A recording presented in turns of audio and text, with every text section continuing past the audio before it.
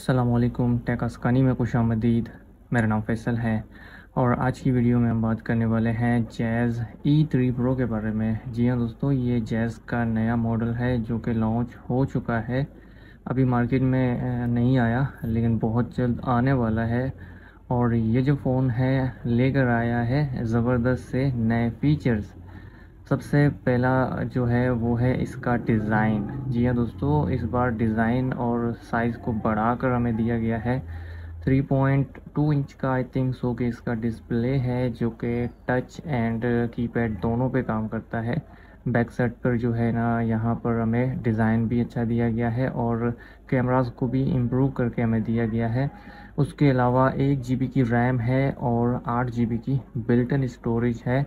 और 2500 सौ की बैटरी है और यहाँ पर हमें बैटरी बैकअप भी अच्छा मिलने वाला है। तो ये फ़ोन बहुत जल्द मार्केट में आने वाला है तो आप जो है ना इसे बाय कर सकते हैं और यहाँ पर आप लोगों को व्हाट्सएप पे वीडियो कॉलिंग वाईफाई हॉटस्पॉट और बहुत सारी जो है ना एप्लीकेशन इसमें चलने वाली हैं। लुक लाइक एंड्रॉयड फ़ोन यानी कि यहाँ पर आप लोगों को फुल्ली एंड्रॉयड के मज़े मिलने वाले हैं।